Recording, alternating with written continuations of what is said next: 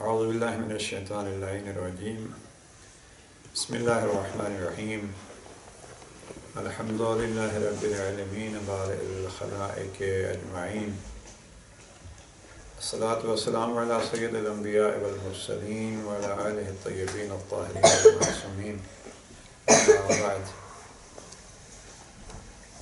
رضائے الہی اور ناہل البلاغ کے عنوان سے سلسلہ گفتگو جاری ہے۔ گزشتہ سیشن میں یہ عرض کیا تھا کہ اللہ سبحانہ و تعالیٰ نے ارشاد فرمایا ہے عطی اللہ عطی الرسول و اولی الامر منکم۔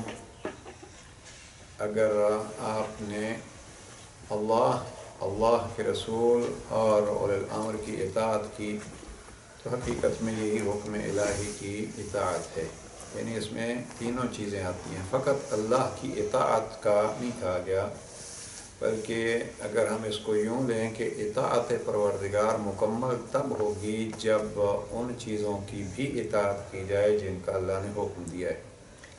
تو یہاں اللہ نے حکم دیا ہے عطی اللہ۔ اگر کوئی آدمی کہے کہ میں نے اللہ کی اطاعت کر لی اور بس تو یہ کافی نہیں ہے۔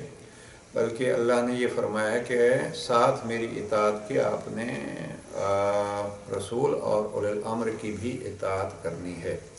تو اطاعت پروردگار تب کامل ہوگی جب باقی اطاعتیں بھی اس میں شامل ہوں گی۔ اور کوئی آدمی کہے کہ میں اللہ کی اطاعت کرتا ہوں، رسول کی اطاعت کرتا ہوں الامر کی اطاعت کرتا ہوں اور نماز نہیں پڑھتا۔ اب یہ حقیقت میں نماز نہیں پڑھتا یا مثلا روزہ نہیں رکھتا یا واجبات جس کا حکم اللہ نے دیا ہے یا محرمات جن سے اللہ نے روکا ہے ان کو انجام نہیں دیتا۔ تو مقصد یہ نہیں ہے کہ وہ اللہ کی اطاعت زبانی زبانی کہہ دی اور اللہ کی اطاعت ہو گئی۔ نہیں، حقیقت میں اللہ کی اطاعت یہ ہے کہ اس کو یوں مانا جائے کہ وہ جو کچھ منوائے اس کو بھی مانا جائے اور یہی حقیقت میں سچی اطاعت ہوگی۔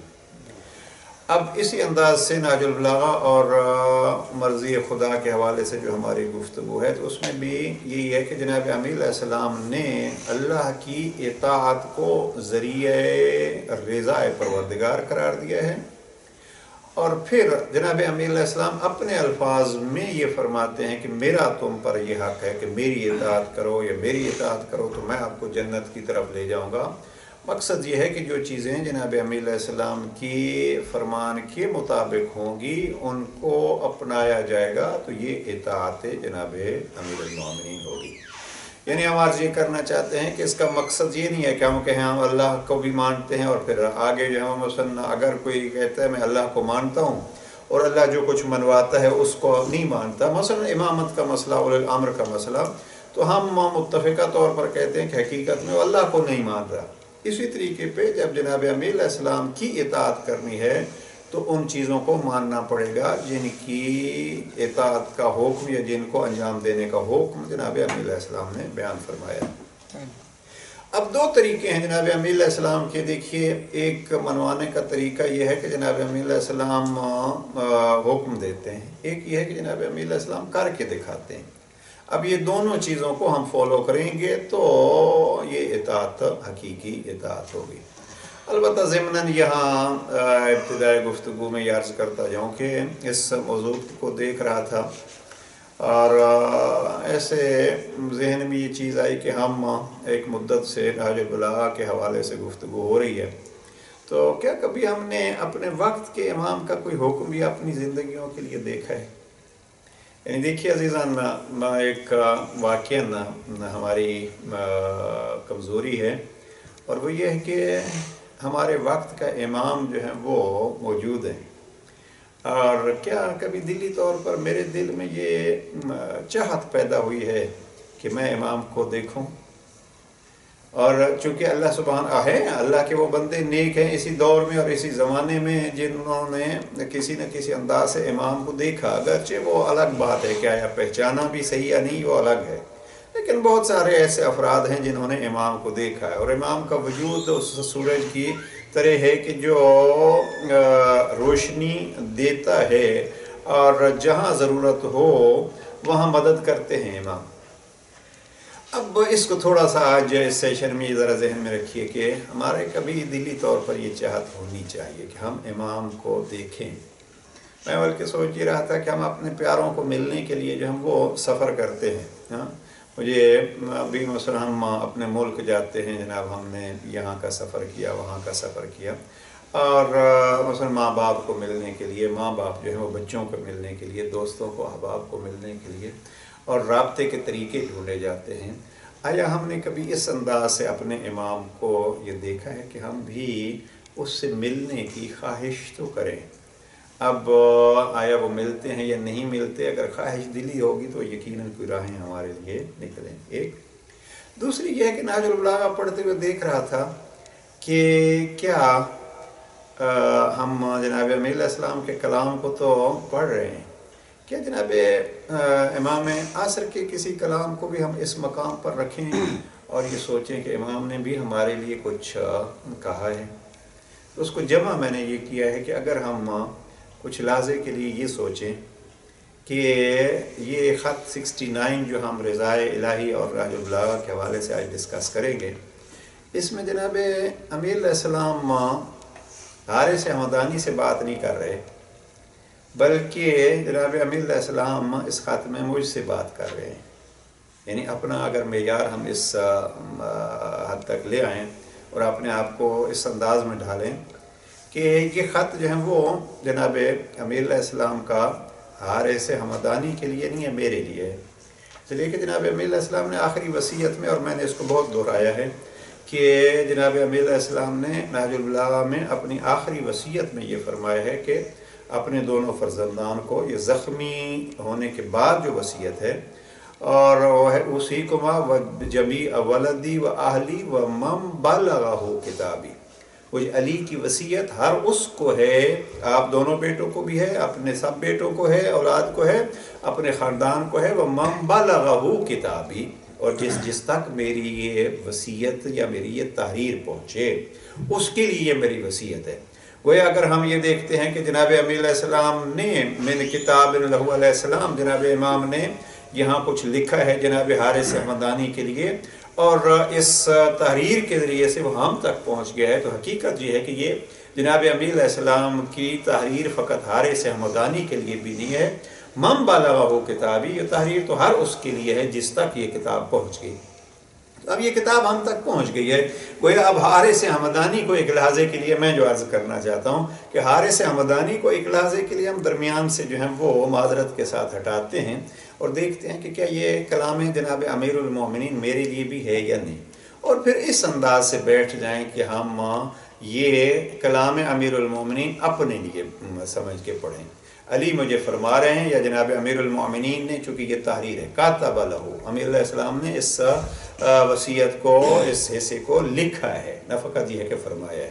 اس لیے کتاب کے عنوان سے اس کو شمار کیا گیا۔ یہ یہ دوسرا مرحلہ۔ تیسرا مرحلہ جو ہے، وہ اس سے بھی مہم ہے۔ وہ یہ ہے کہ ہم اگر اپنا معیار بڑھائیں ہم اپنے آپ کو تو وہی حارث احمدانی کی جگہ پہ لے آتے ہیں کہ جناب امیر علیہ السلام کا یہ کلام جو ہے وہ حارث احمدانی کے لیے نہیں ہے، بلکہ میرے لیے ہے۔ لیکن اس کے ساتھ ہم اگر یہ بھی سوچیں کہ ایم معصومی علیہ السلام خود فرمان ہے، ان کا ایک کا فرمان دوسرے کا فرمان ہے، اور اگر ایک جو فرماتا ہے وہ گویا دوسرا فرما رہا ہے اور سب کا فرمان ایک ہے، تو اس انداز سے ہم ایک لحاظے کے لیے تیسرے مرحلے کو طے کریں۔ اور وہ مرلہ یہ ہے کہ اب ہم یہ نہیں کہتے یا علی، یہ آپ کا کلام۔ نہیں، ہم یہ کہتے ہیں کہ یہ کلام کلام امام ہے اور اس زمانے کے امام کا کلام ہے۔ حارث حمدانی جس زمانے میں تھے، حارث حمدانی کو اپنے زمانے کے امام نے یہ فرمایا۔ ہم جس زمانے میں ہمارے امام کے طرف سے ہمیں یہ تحریر ہے۔ اگر یہ ہمارے ذہن میں آ جائے کہ یہ گویا جناب امیر علیہ السلام کی تحریر بھی ہے اور جناب جناب امام عصر کی بھی ہے اور یہ حارث حمدانی کے لیے بھی ہے اور ہمارے لیے بھی ہے، تو یہ سٹیج اگر ہو جائے تو ہم اس نگاہ سے دیکھیں گے اب ہمارے امام ہمیں کیا فرما رہے ہیں۔ لہذا کوشش ہی ہونی چاہیے اپنا جو ہے وہ فقط ہم سماعت کی اور سننے کی حد تک ہمارا یہ سلسلہ نہیں چلے، بلکہ کوشش یہ ہو کہ ہم کچھ اپنا معیار بڑھائیں۔ اور میں یہاں ایک جملہ اور اضافہ کر دوں جو بہت دفعہ میں نے دہرایا ہے۔ یہ کہ جیسے ابن اب الحدید کہتے ہیں کہ علی خط دو سو اٹھارہ میں تفسیر بیان نہیں کر رہے تھے، گویا یہ تھا کہ میں قبر کا منظر دیکھ رہا ہوں اور قبر والے آبا و اجداد اٹھ کے مجھے خود بتلا رہے ہیں۔ یعنی یہ انشاءاللہ سٹیج ہمارا اور ہمارا معیار اس انداز سے آگے ہونا چاہیے کہ یہ گویا امام حسرہ میں فرما رہے ہیں اور ہم اس کو پڑھ رہے ہیں یا ہم اس کو سن رہے ہیں۔ ایک کتاب اس دفعہ سفر میں مجھے ملی ہے۔ چھوٹی سی کتاب جیسا ایک بزرگ نے تحریر کیا ہے۔ اس کا نام بڑا، میں نے ابھی اس پوری کتاب کو نہیں پڑھا۔ کچھ ایسے اس کے دیکھے ہیں۔ لیکن اس کا نام جو ہے وہ بڑا ہی یعنی ایک ہلا دینے والا ہے۔ اس کا نام ہے امام زمانہ کے شکوے۔ اب یہ امام زمانہ کے شکوے، چونکہ ہم نے ناج البلاغہ سے ایک حصہ جو ہے وہ کافی فرامین جناب امام کے جمع کیے ہیں کہ جناب امیر علیہ السلام نے اپنے چاہنے والوں سے کہاں کہاں شکوے کیے ہیں۔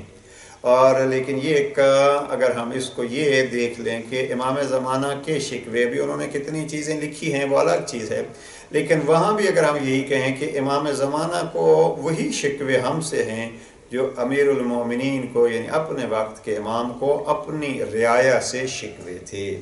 اب ہم اگر یہ بھی دیکھنا چاہتے ہیں کہ امام ہم سے کیا چاہتے ہیں یا امام کو ہم سے کیا شکوے ہیں، تو ہم اسی ناج البلا سے درک کر سکتے ہیں۔ جو علی کو اپنے زمانے والوں سے تھے، خدا نہ کرے ہمارے زمانے کے امام کو بھی ہم سے وہ شکوے ہوں۔ اور یقیناً آپ حضرات اس طرف متوجہ ہیں، امام عصر کے عقیدے کو جو بہت زیادہ اہمیت دی گئی ہے، اس عقیدے کی اہمیت کی ایک وجہ یہ ہے کہ امام کی زندگی غیبت میں ہے، اور جب امام کی زندگی غیبت میں ہے تو اس کا مسئلہ ایک یہ ہوگا کہ پھر انسان اطاعت میں کوتا ہی اور سستی کرتا ہے۔ لہذا پلٹ کے آتے ہیں کہ اب اگر ہمیں نہج البلاغہ سے رضا پروردگار کی تلاش کرنی ہے۔ تو ہمیں کوشش ہی کرنی چاہیے کہ وقت کے امام کو ہم راضی کر سکیں۔ وقت کے امام کی رضا جو ہے وہ حقیقت میں خدا کی رضا کا ذریعہ بنے گی۔ آتے ہیں پلٹ کے خط سکسٹی نائن میں۔ جناب امیر علیہ السلام جو چیزیں چاہتے ہیں، ان چیزوں میں سے چوتھی چیز جو آج عرض کرنا ہے، یقیناً آپ کے ذہن میں ہے اور آپ نے مطالعہ کیا ہوگا۔ وَتَمَسَّكْ بِحَبْلِ الْقُرْآنِ وَانْتَسِحْ اس سے یہ خط شروع ہوتا ہے۔ اور چوتھی چیز امام فرماتے ہیں وَعَزِّمِ اسْمَ اللَّهِ أَن تَذْكَرَهُ إِلَّا عَلَى الْحَقِّ۔ اللہ کی عظمت کے پیش نظر، حق کے علاوہ کہیں ادھر ادھر اللہ کا نام استعمال نہ کرتے رہنا۔ یہ اللہ کی عظمت کے حوالے سے اکثر شارحین ناج البلاغہ نے یہاں لکھا ہے کہ اللہ کے نام کی جھوٹی قسمیں یا بعض اوقات چھوٹی چھوٹی چیزوں کے لیے سچی قسمیں بھی نہ اٹھاتے رہنا بعض لوگوں کا یہ طریقہ کار بن جاتا ہے، چھوٹی چھوٹی بات پہ جو ہے وہ قسم، اور قسم بھی جو ہے وہ جو شریع قسم ہوتی ہے۔ واللہ باللہ سمت اللہ یعنی اس میں اللہ سبحانہ و تعالیٰ کا نام لے لینا۔ تو جناب علیہ السلام نے یہاں یہ فرمایا ہے کہ اللہ کے اسم کو فقط حق کے لیے بیان کرنا ایسے نہیں ہے کہ اس کو ہر وقت استعمال کرتے رہیں۔ تو اکثر شارحین یہی کہتے ہیں کہ یعنی قسم جو ہے وہ جھوٹی قسم یا چھوٹی چھوٹی باتوں پر قسم نہیں کھانا، یہ حقیقت میں اللہ کی عصمت ہے۔ البتہ ساتھ اس سے جو ہے وہ یہ بھی مفہوم لیا جا سکتا ہے کہ جب آپ کے سامنے جو ہے وہ لفظ اللہ استعمال ہو، تو اس لفظ اللہ کی عظمت بھی آپ کے مد نظر ہونی چاہیے۔ تو یہ ایک چیز جناب علیہ السلام نے بیان فرمائی۔ اور نمبر پانچ جو جناب امیر علیہ السلام فرماتے ہیں، اس کے بعد فرماتے ہیں اکثر ذکر الموت وما بعد الموت۔ یہ ایک عجب سا سلسلہ ہے کہ یہاں اس ماحول میں، اور ہے بھی حقیقت، بہرحال ذرا اس پہ توجہ فرمائیے گا۔ یہاں کے یوتھ میں ایک چیز جو ہے، وہ اکثر ڈسکس ہوتی ہے، اور وہ چیز یہ ڈسکس ہوتی ہے کہ ہمارے اسلامی اخلاقیات میں اکثر ڈرانے والی چیزیں اور پریشانی والی باتیں بیان کی جاتی ہیں۔ یہ اور میں سمجھتا ہوں کہ یہ حقیقت ہے۔ ہمارے ہاں اکثر جو ہیں وہ ڈرانے والی چیزیں اور پریشانی والے۔ مثلا ایک صاحب جو ہیں وہ، اچھے سائیکالوجی کے یعنی وہ لیکچر وغیرہ ان کے ہوتے ہیں۔ وہ کہنے لگے کہ دیکھو، ہمارے ہاں سلسلہ یہ ہے کہ کسی دکھی کو دکھی دیکھیں گے۔ اب اس کے دکھ کا مداوع کرنا ہے، اس کا علاج کرنا ہے، اس کو تسلی دینی ہے۔ تو تسلی کا طریقہ ہمارے ہاں کیا ہے؟ ہمارے ہاں اس سے بڑا کوئی دکھ ڈھونڈا جائے گا۔ کسی کو دکھ ہے مثلاً فرض کیجیے، بلکہ ابھی اس میں ہے کہ ہمارے اس محفل کی رونق اور جناب جہانگیر بھائی کا ایک سلسلہ ہے، ان کا آپریشن ہے دوبارہ۔ آج وہ ہسپتال میں ہیں، دعا ہے پروردگار ان کو شفا عاجلہ و کامل عطا فرمائے اور ان کی اس پریشانی کو جلد از جلد دور فرمائے۔ تو ہم، وہ کہنے لگے کہ مسئلہ یہ ہوتا ہے کہ اگر کوئی بیمار ہے مثلا، تو ہم اس کے تسلی کے لیے جو ہے وہ کسی اور بڑی بیماری کا یا سخت بیماری کا تذکرہ کر کے جو ہے وہ اس کو کہیں گے۔ دیکھیے، وہ بھی تو تھا، اس نے ایسے کیا۔ ٹھیک ہے، یہ تذکرہ جو ہے وہ کسی دکھی کا ہونا چاہیے، لیکن ایسے مواقع پہ جو ہے وہ ضروری نہیں ہے کہ ہم دکھ کے ذریعے سے ہی دکھ کا علاج کریں۔ بلکہ اس میں یہ ہے کہ وہ جو دینے والا ہے، کوئی یہ باڈی جو ہے مثلا ابھی میرے کسی جسم کے حصے کو تکلیف ہے، اب یہ تکلیف مجھے ہے یا وہ جس نے اس جسم کو بنایا ہے؟ حقیقت کو یہ ہے کہ جس نے قطرے سے جو ہے وہ ایک مکمل جسم بنایا ہے اور اس جسم کو بنانے والا بھی وہی ہے، تو اس کو بچانے والا بھی وہی ہے، اس کو صحت دینے والا بھی وہی ہے۔ یعنی عقیدے کو مضبوط ہونا چاہیے، نہ کہ دوسرے کے جو ہے وہ دکھ اور تکلیفیں۔ اور یہ سلسلہ ہمارے ہاں اکثر یہ ہو جاتا ہے۔ اور دوسرا یہ ہے کہ یہ نیگیٹو سلسلہ ہوتا ہے۔ ہر وقت جو ہے وہ بعض اوقات بس ہمارے پاس یہ نہیں ہے اور ہمارے پاس وہ نہیں ہے اور ہمارے پاس یہ کمی ہے اور ہمارے پاس وہ کمی ہے۔ یعنی اس کو پھر آپ کہیے کہ یہ دکھ اور تکلیفیں جو ہیں اس میں بلکہ ابھی تو ہمارے ہاں یہ سلسلہ ذرا یہ بھی غلط ہو رہا ہے کہ مثلا ابھی مثلا عید پہ بھی جناب ہم، وہ اس عید پہ جو ہے وہ جناب فلاں معصوم کا یہ تھا اور فلاں معصوم کا یہ تھا۔ مثلا ابھی اربعین کیا ہے اس میں عید فطر پہ جی کے جناب امام علی مرتضیٰ علیہ السلام کی شہادت کو نو دن ہوئے ہیں تو وہ بچیوں نے کیسی عید منائی ہوگی؟ اب اس عید کے حوالے سے ہی گفتگو جو ہے وہ بعض جگہوں پہ حالانکہ اگر آپ حقیقت کو دیکھیے تو ایم معصومین علیہ السلام نے عید کو عید اور غم کے دن کو غم کا دن منانے کا حکم دیا ہے۔ اور اگر آپ دیکھیے مثلا کہ ایم معصومین علیہ السلام کی عید منانے کے طریقے جو ہیں وہ تحفے تحائف ہوتے تھے، خوشی ہوتی تھی اور جو احکام شریعت ہوتے تھے وہ وہاں ہوتے تھے۔ مثلا ادھر ہم کہتے ہیں کہ عید کے دن نیا لباس جو ہے وہ جنت سے آ گیا۔ خوب جنت سے لباس جو ہے وہ نیا منگوایا اگر تو خوشی کا طریقہ ہے نا یہ۔ تو اس حوالے سے جب وہ ہمارے ہاں فقط یہ تو ایک عقیدے کے اعتبار سے، دنیاوی اعتبار سے بھی ہم نے بعض افراد دیکھے ہیں۔ مثلا کہ جناب وہ کئی بچپن میں غم زدہ تھے۔ خوب ساری زندگی باقی جو ہے وہ انہوں نے انہی غموں کو یاد کر کے گزارنی ہے۔ بھئی کوئی خوشی بھری جو ہے وہ اس میں چیز کو بھی تو آپ تلاش کیجیے۔ مثلا کئی افراد ہم نے دیکھے ہیں۔ بچپن جو ہے وہ یتیمی میں گزرا۔ جب بھی کوئی خوشی ہوگی تو ان کو وہ اپنی یتیمی یاد ہوگی۔ ٹھیک ہے۔ آپ مرحومین کو یاد کریں، اس انداز میں جو ان کے لیے بھی ثواب کا ذریعہ ہو۔ تو اپنے غموں کو بھولنا نہیں چاہیے، جیسے گزشتہ سیشن میں یہ جناب امی علیہ السلام نے فرمایا تھا کہ آپ عبرت لیں زمانے سے۔ عبرت لینی چاہیے، لیکن جو چیز عرض کر رہا ہوں اور گفتگو اس پہ زیادہ ہو گئی، وہ یہ ہے کہ اپنے پاس جو اللہ کی دی ہوئی نعمتیں ہیں، ان کو بھی یاد کیجیے۔ اس کریم اللہ نے جو ہے وہ ادھر تو یہ کہا ہے، ادھر کہا جا سکتا ہے فل یزحکو کلیلن ولیبکو کثیرہ تھوڑے ہنسو اور زیادہ جو ہے وہ رو۔ اب یہ ایک دلیل ہے۔ اب تھوڑے ہنسوں سے مراد کیا ہے اور لیکن ساتھ جو ہے وہ اللہ سبحانہ و تعالیٰ نے یہ بھی تو فرمایا ہے کہ اما بنعمت رب کا فحدث۔ اللہ نے جو نعمتیں دی ہیں ان کو یاد کرو اور پھر ساتھ فرماتا ہے، ان تعدو نعمت اللہ ہے لا تحسوها اگر اس کی دی ہوئی نعمتوں کو گنو گے تو آپ گن ہی نہیں سکتے۔ اب ان دو چیزوں کو جو ہے وہ اکٹھا کرنا ہے کہ کم ہنسنا ہے اور زیادہ رونا ہے۔ اب رونے سے مراد پھر آپ کہیں گے کہ ابھی جو آپ نے کہا ہے تو وہ تو اسلام وہی کہتا ہے کہ تھوڑا ہنسو اور زیادہ رو۔ اب یہاں رونے کا بھی جو ہم مسئلہ ہے، آپ اس کو جمع کرنے کے لیے اگر جائیں گے تو ناج البلاغہ میں جناب امیل السلام فرماتے ہیں خطبہ نمبر ایک سو اکانوے میں۔ وہاں جناب امی علیہ السلام فرماتے ہیں کہ مومن کی نشانی یہ ہوتی ہے، متقی کی صفتیں جو بیان کی ہیں، متقی کی نشانی یہ ہوتی ہے کہ وہ اندر سے تو معذون ہوتا ہے، لیکن اس کا چہرہ حشاش بشاش ہوتا ہے۔ یعنی ایسے نہیں ہے کہ جو اس کو دیکھنے جائے گا، وہ بھی اس کا، ہمارے یہاں ایک بڑا محاورہ سا بنا ہوا ہے، وہ یہ ہے کہ میں رو نہیں رہا، میرا چہرہ جو ہے وہ رونے والا ہے۔ نہیں، چہرہ رونے والا متقی جو ہے وہ نہیں بناتا، بلکہ اس حد تک جناب علیہ السلام خود ناج البلاغا میں فرماتے ہیں اگر آپ کو کوئی دکھ ہے تو اپنے چاہنے والوں کو جو ہے وہ مت دکھی کرو اور عام شخص کو کے سامنے جو ہے وہ مت بیان کرو۔ دو جملے امام نے فرمایا امام فرماتے ہیں، وہ جس کے سامنے آپ اپنے دکھ درد بیان کر رہے ہو، وہ اگر آپ کا دشمن ہے تو وہ خوش ہوگا کہ چلے اس کو بھی کوئی تکلیف ہے۔ اور اگر آپ کا پیارا ہے تو وہ اس میں آپ کا دکھ تو دور نہیں کر سکے گا، لیکن آپ نے اپنا دکھ بیان کر کے اس کو بھی دکھی کر دیا ہے۔ لہٰذا دوسرے کو دکھی نہیں کیجیے حل اس کا کیا ہے؟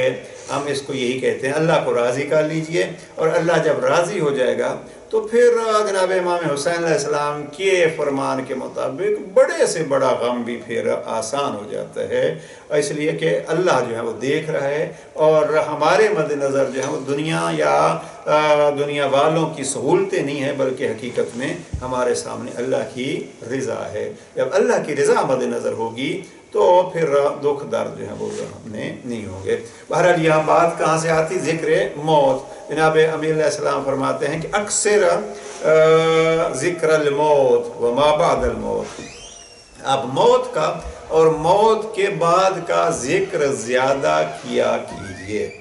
اب یہ بھی نہیں ہے کہ آگے جو ہے ایک فرمان موجود ہے امام کا، اس پہ بھی بحث ہوگی اسی حصے میں۔ امام یہ فرماتے ہیں کہ موت اور موت کے بعد کو یاد زیادہ کیا کرو۔ لیکن اس سے مقصد یہ نہیں ہے کہ ساری کچھ دنیا کو جو ہے وہ چھوڑ کے آپ موت کے لیے بیٹھ جائیے۔ نہیں، بلکہ حقیقت یہ ہے کہ بعض شارحین نے بڑی خوبصورت باتیں یہاں لکھی ہیں۔ کہتے ہیں کہ آپ کو اگر موت یاد ہوگی تو آپ موت کی یاد کی وجہ سے اللہ کی معصیت والی چیزوں پر کنٹرول کر لیں گے۔ ایک طرف جو ہے وہ اللہ کا گناہ، اللہ کی معصیت سامنے آتی ہے، دنیا کی ہوا پرستی آتی ہے۔ یا مثلا ایک چیز جو ہے وہ، ہم موت کو بھول جاتے ہیں تو اس کا سب سے بڑا اثر کیا ہوتا ہے؟ ہم دنیا کی لالچ میں مبتلا ہو جاتے ہیں۔ لہٰذا اگر ہمیں موت یاد ہوگی تو ہمیں یہ یقین ہو جائے گا کہ یہ چیزیں جو ہیں وہ جب ہم خود ہی کچھ دینے کے لیے ہیں، تو یہ چیزیں جو ہیں وہ کتنی ہمارے ساتھ رہیں گی۔ لیکن جناب امی علیہ السلام نے یہ فقط نہیں فرمایا کہ بس اسی پر اکتفا کیجیے کہ موت کو یاد کیجیے۔ وَبَعْدَ الْمَوْتِ، اور موت کے بعد کیا ہونا ہے، اس کو بھی زیادہ سے زیادہ یاد کیجیے۔ یعنی وہاں جو چیزیں ضرورت ہیں ان چیزوں کے لیے اپنے آپ کو تیار کیجیے۔ موت یاد ہوگی تو ان دنیاوی چیزوں کے مال مطال کے اور جس پہ ہم فخر کرتے ہیں، ان کے دھوکے میں نہیں آئیں گے۔ اور اگر آخرت یاد ہوگی تو ذرا اس جملے کو نوٹ فرمائیے گا کہ آخرت یاد ہوگی تو اس دنیا کو ہم آخرت کے لیے حقیقت میں حدیث کے مطابق کھیتی بنائیں گے۔ یعنی اگر ہمیں یہ دنیا یاد ہوگی تو ہم اس دنیا کے مال و مطال کے غرور میں یا حرص میں یا اس کے جال میں نہیں پھنسیں گے۔ آخرت یاد آئے گی تو ہمیں انہی چیزوں کو آخرت کے استفادے کے لیے، زیادہ راہ کے لیے استعمال کر لیں گے۔ یہ ایک فرمان ایک ہے، اکثر ذکر الموت و بعد الموت۔ موت اور موت کے بعد کو یاد کرو، لیکن یہ دونوں دنیا کے لیے اصول بیان فرما دیے امام نے۔ اس دنیا کا بھی اصول اور آخرت کا بھی اصول۔ میں نے کبھی عرض کیا تھا، جناب امام حسن مجتبہ علیہ السلام کا یہ فرمان کہ امام فرماتے ہیں کہ دنیا میں رہو تو ایسے رہو جیسے ہمیشہ رہنا ہے۔ آخرت کے لیے تیار رہو تو ایسے جیسے ابھی جانا ہے۔ تو یہ دوسرا جملہ یہ ہے کہ بعد الموت کو بھی یاد کرو یعنی ہم یوں رہیں کہ کیا تیار رہیں کہ ہمیں ابھی جانا ہے۔ اب ہم اگر اس موت کو یاد کریں گے۔ جناب علیہ السلام نے ناج البلاغہ میں ایک جگہ پہ لفظ موت کے ساتھ استعمال کیا، یاد کرو ہادم موت۔ جو یعنی ہادم اللذات ہادم اللذات موت کے لیے عجیب لفظ استعمال کیے ہیں جناب علیہ السلام نے۔ ہادم اللذات، یاد کرو اس کو جو لذتوں کو مٹا دیتی ہے اور وہ کیا ہے؟ موت۔ لہٰذا یہاں دنیاوی لذتوں میں اپنے آپ کو غرق اور غائب کرنے کے لیے کے بجائے کوشش یہ ہونی چاہیے کہ ہم بادل موت کو یاد کریں۔ تو یہ ہے ایک فرمان اور اس فرمان کے حوالے سے اگر یہ دو چیزیں ہمیں یاد ہوں تو ہم پھر دیکھیں گے کہ اللہ کو راضی کر کے جانا ہے تو اللہ کی رضا کا ذریعہ یہ ایک اطاعت ہوگی۔ اگر ہم ان دو چیزوں کو یاد رکھیں گے تو گویا یہ اللہ کی رضا کا ایک ذریعہ ہمارے لیے بنے گا۔ نمبر چھ، جناب امی علیہ السلام، اس کے بعد فرماتے ہیں کہ ولا تمن الموت اللہ بشرط وسیق بلکہ اس کو اسی کے ساتھ یہ جملہ جو ہے وہ دو جملے تشریح ہو جائے گی اس کی۔ موت اور موت کے بعد کو یاد کرو اور موت کی تمنا نہ کرو، مگر یہ ہے کہ وہاں کے لیے کچھ قابل وسوخ چیز جو ہے وہ قابل اطمینان چیز بھیج دی ہو۔ یعنی موت کی تب تمنا کرو یا ہم اس کو کہیں موت کے لیے تب تیار رہو، جب آپ کو یہ یقین ہو کہ وہاں کے لیے ہم نے کچھ جمع کر لیا ہے۔ اگر وہاں کچھ ہے ہی نہیں تو پھر بغیر وہاں کی تیاری کے موت کی تمنا نہ کرو۔ البتہ یہ جملہ جو ہے وہ آیا، موت کی تمنا کوئی کرتا ہے؟ اس پہ غور کرنا چاہیے۔ کسی ہمارے شاعر نے بڑا خوب کہا تھا کہ یہاں تو ہم اگر دکھ ہوتا ہے تو کہتے ہیں مر جائیں گے یا مر جائیں۔ اور وہاں اگر جہاں مرنا ہی نہیں ہوگا تو وہاں پھر کیا کریں گے؟ حال جو ہے وہ ظاہر غالب کا جو ہے وہ بہرحال اس میں کہ یہاں تو ہم کوئی دکھ تکلیف ہوتے تو کہتے ہیں مر جائیں گے۔ لیکن جہاں وہاں پہنچے گے، وہاں ہوا سلسلہ، جہاں مرنا ہی نہیں ہے تو پھر وہاں کیا کریں گے؟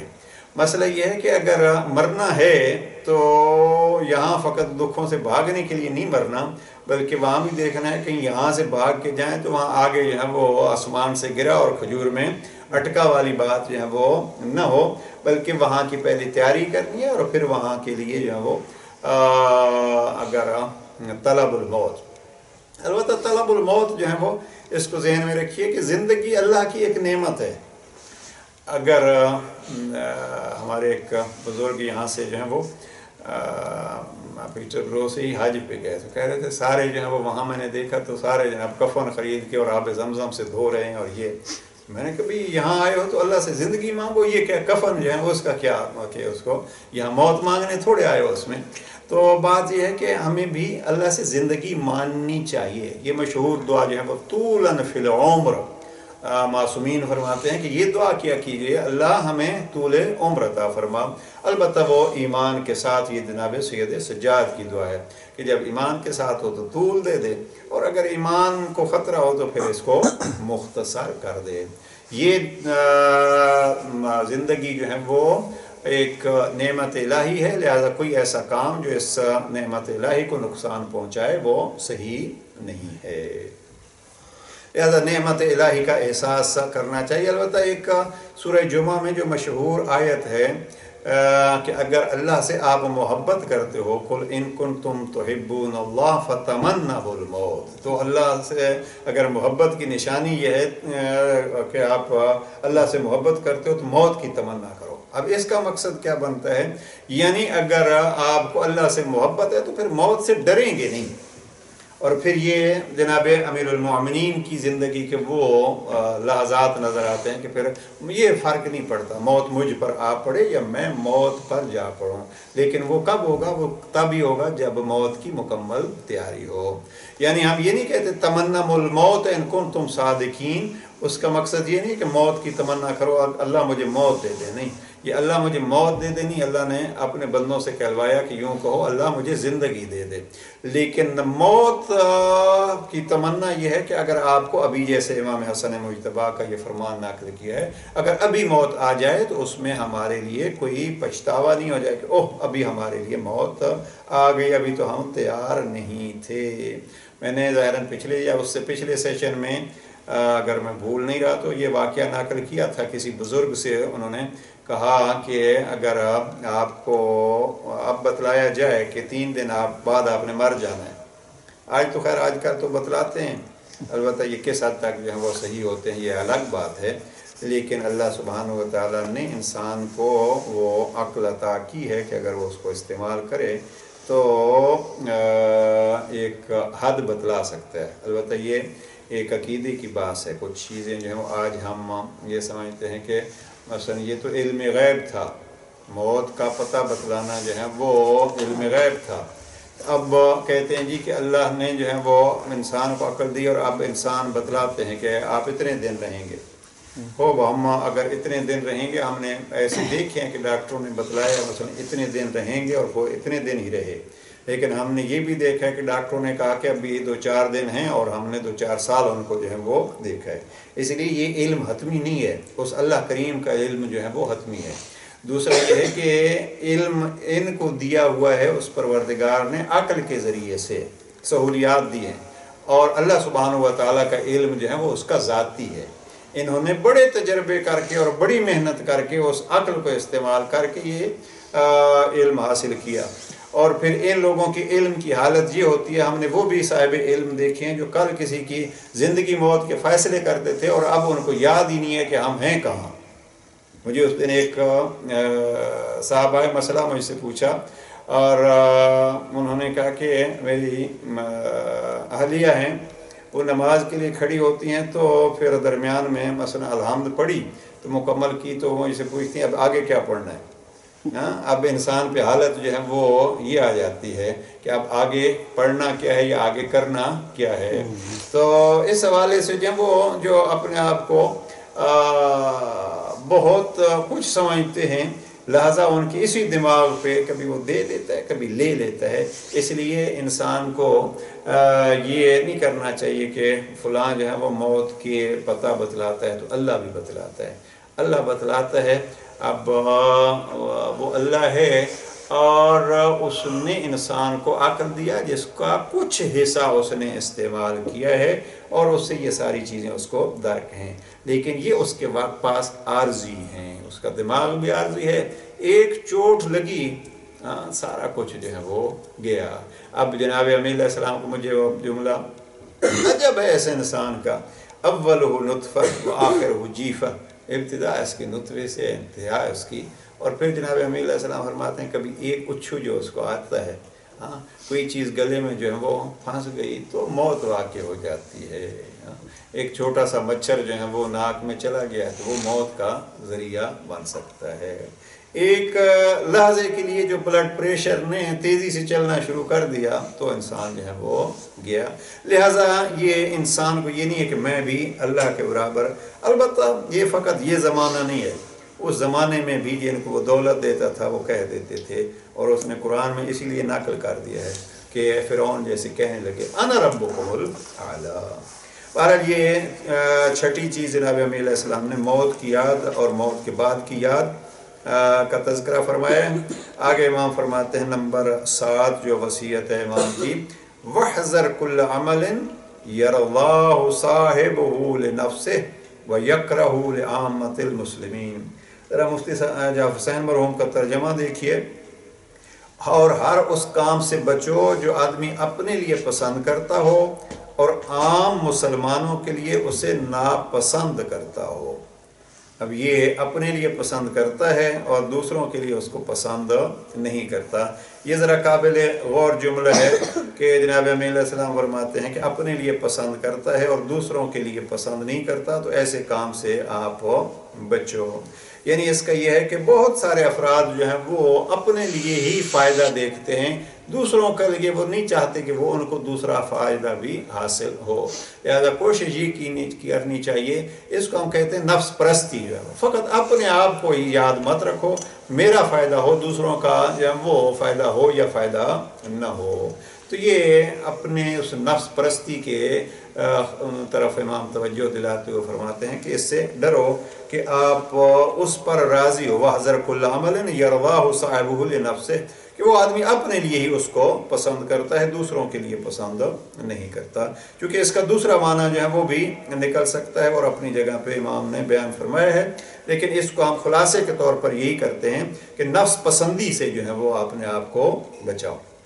اور آٹھواں فرمان امام کا اس حصے میں امام فرماتے ہیں کہ وَحْذَرْ كُلَّ عَمَلٍ يُعْمَلُ بِهِ فِي السِّرِّ وَيُسْتَحَا مِنْهُ فِي الْعَلَانِيَةِ یہ بڑا عجیب اور تفصیلی فرمان ہے۔ امام فرماتے ہیں کہ ہر اس عمل سے بچو جو چھپ کے تو کرتے ہو، لیکن اگر ظاہر ہو کے کرنا پڑے تو اس سے آپ کو شرم آتی ہے۔ اب یہ بھی البتہ جو ہے وہ ایک انسان کی سعادتوں میں سے ایک سعادت ہے۔ دیکھیے یہ امام کیا فرماتے ہیں کہ عمل کی دو قسمیں ہیں۔ ایک یہ ہیں جو آپ علنن کر سکتے ہیں، ایک عمل وہ ہے جو آپ چھپ کے کرتے ہیں۔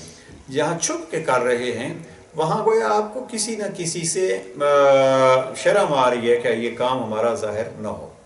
اب اس میں دو چیزیں، ایک تو یہ ہے کہ ہم کس سے چھپ کے کر رہے ہیں۔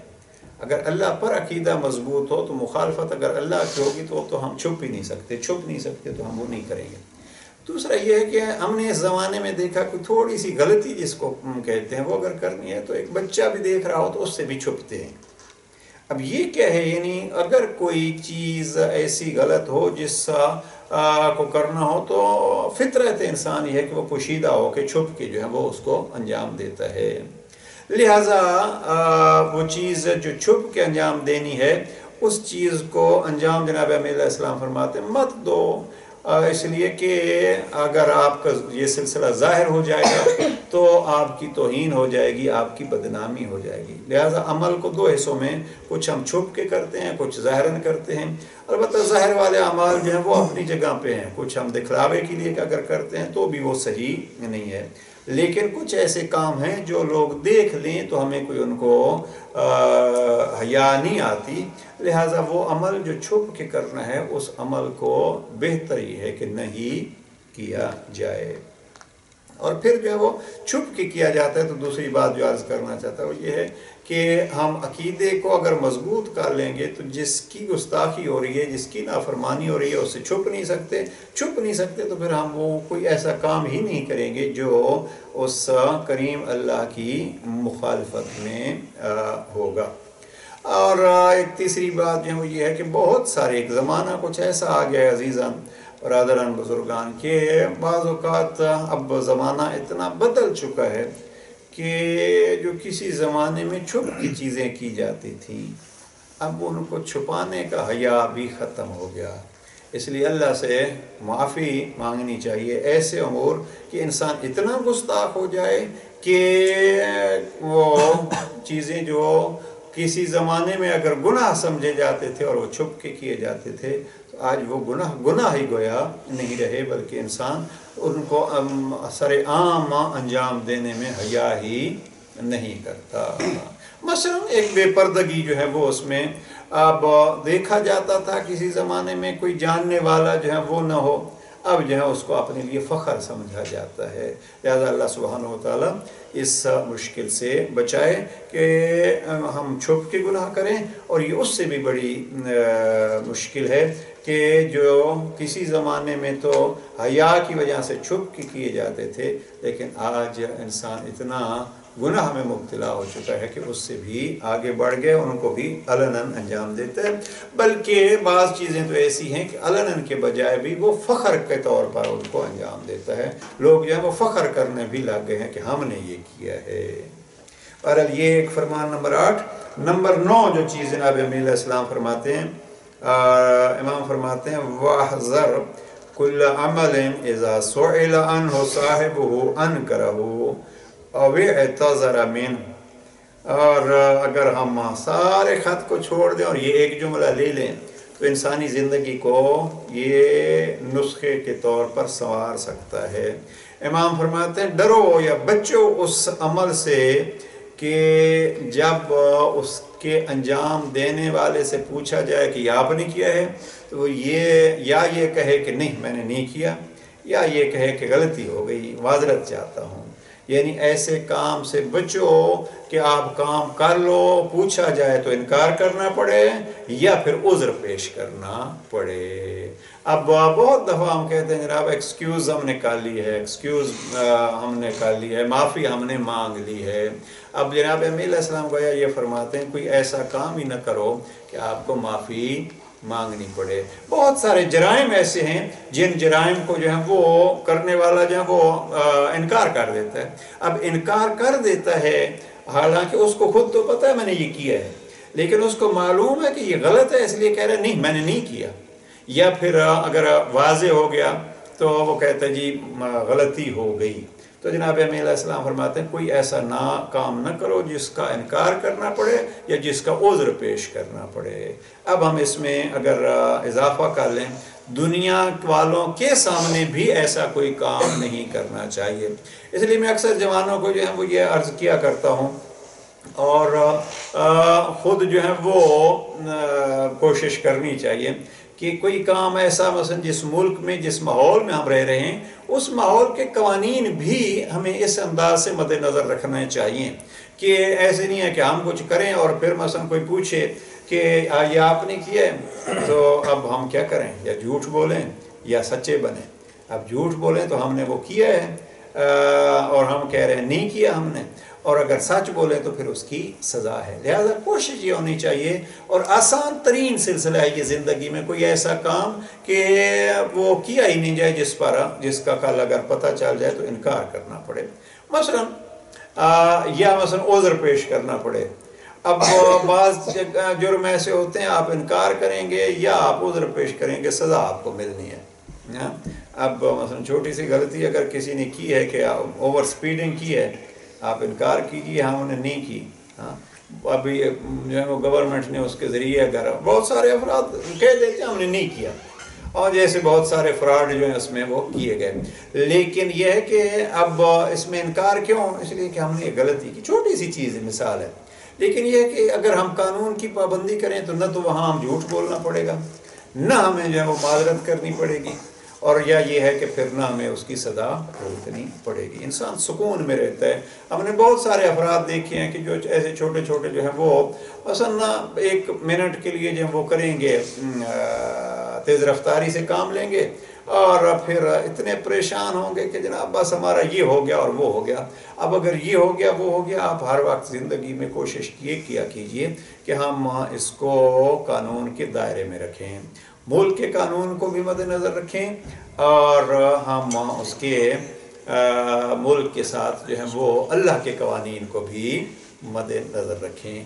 اللہ کے قوانین کو مد نظر رکھنا اگر یہی ہمارا یہ سلسلہ ہوگا تو ہم اللہ سبحانہ و تعالیٰ کی رضا کا ذریعہ تلاش کر لیں گے۔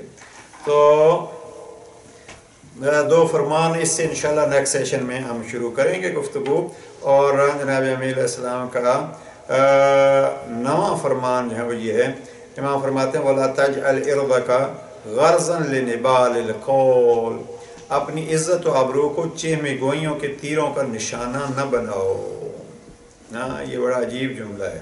ایک مشہور اتقو مورد التہمہ ظاہراً جو ہے وہ ایک فرمان یہ ہے کہ تہمت کے مقام سے جو ہے وہ بچو۔ یعنی جہاں آپ پر کوئی تہمت لگنے والی ہو، اس طرف مت جاؤ۔ اگر آپ تہمت کے مقام پر جاؤ گے اور کسی نے آپ پر تہمت لگائی تو معصوم فرماتے ہیں، یہ آپ کی غلطی ہے۔ میں ایک یہ ظاہر پیام امام میں اس جملے کی شرح میں ایک جملہ لکھا ہے کہ جناب پیغمبر اکرم اعتکاف میں ابو داود، سنن ابو داود کا یہ واقعہ ہے کہ جناب پیغمبر اکرم جو ہیں وہ اعتکاف میں جب پیغمبر اکرم کا اعتکاف ختم ہونے کا وقت آیا تو جناب پیغمبر اکرم کی ازواج میں سے کسی نے جا کے ظاہر پیغمبر اکرم کو لانے کے لیے وہ گئیں۔ اور واپسی پہ پیغمبر اکرم راحت ہو گئی تھی، واپسی پہ پیغمبر اکرم اور وہ جناب پیغمبر اکرم کی زوجہ جو وہ کٹھے آ رہے ہیں۔ دو صحابی جو ہیں وہ سامنے سے گزرتے ہوئے نظر آئے تو وہ جلدی سے پیغمبر اکرم کے پاس سے گزرے۔ بڑا عجیب واقعہ ہے۔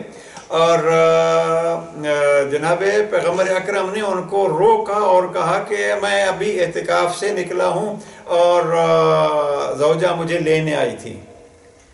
انہوں نے وہ جب یہ سنا تو ان کو بھی تعجب ہوا کہ پیغمبر اکرم کیا ہمیں سمجھانا چاہتے ہیں۔ پیغمبر اکرم فرماتے ہیں، آپ انسان ہو، میں اس رات کی تاریکی میں آپ کو واضح کرنا چاہتا ہوں کہ کچھ اور نہ سوچنا۔ اب یعنی یہ وضاحت بھی کر دینی چاہیے اگر کسی سے جو ہے وہ اس میں، تاکہ کل آپ کسی کے باتوں کا اور چمی گوئیوں کا جو ہے وہ سبب نہ بنو۔ یہ تو حقیقت ہے۔ اور اگر جگہ ہی ایسی ہو جہاں یا ذریعہ کام ہی ایسا ہو جو واقع چمی گوئیاں کیا وہ گناہ ہو، تو پھر خود اس شخص نے گویا اپنے آپ کو مورد تہمت ٹھہرایا ہے۔ بہرحال اسی سے انشاءاللہ گفتگو نیکسٹ سیشن میں شروع ہوگی۔ پروردگار محمد صلی اللہ علیہ وسلم کی عظمتوں کا صدقہ۔ ہمیں سیرت معصومین پہ چلنے کی توفیق نصیب فرمائے۔ اور جو کچھ کوشش کی جا رہی ہے پروردگار اس کو قبول فرمائے۔ السلام علیکم ورحمۃ اللہ وبرکاتہ۔